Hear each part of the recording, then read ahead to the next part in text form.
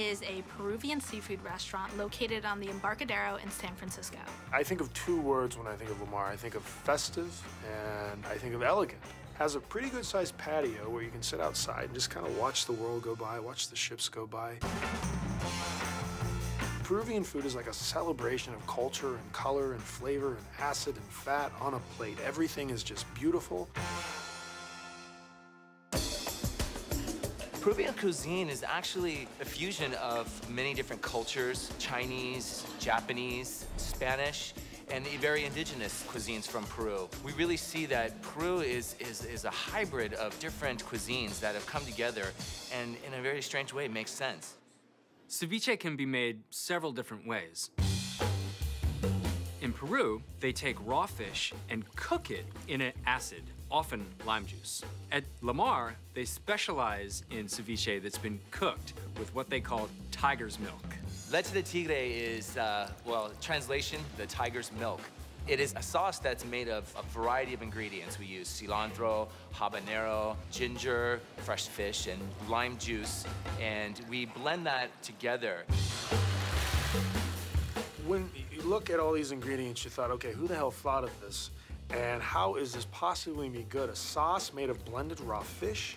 Yet when you add just a little bit of this, it really wakes up the ceviche, which in turn wakes up the senses. You might not know this, but in Peru, tiger's milk is thought to be both an aphrodisiac and a hangover cure. So you have a shot of that, you're good for the whole weekend. Wow. That's true. The Peruvian ceviche is really unique because not only are they using this special leche de tigre, which is classic in Peruvian ceviches, but they're using indigenous ingredients like the choclo, the corn, the purple potatoes, the yams.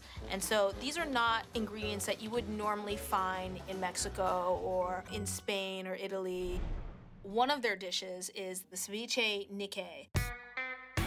It started with ají tuna, red onion, habanero, cilantro, in an ají amarillo leche de tigre with Peruvian choclo and sweet potato.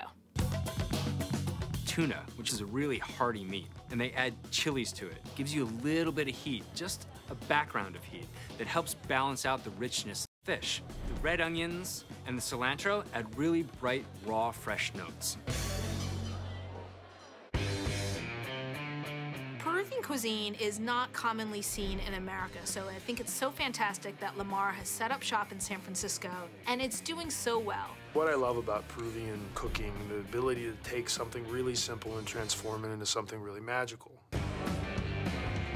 I love coming to La Mar to eat for myself because it's just a, there's so much variety in our food. I can come and try ceviche, I can have some cooked items, and they come from different cultures. So I never get bored of the cuisine here, and, and it's something inspiring to try different foods every day. Belly bomb. I hate myself right now.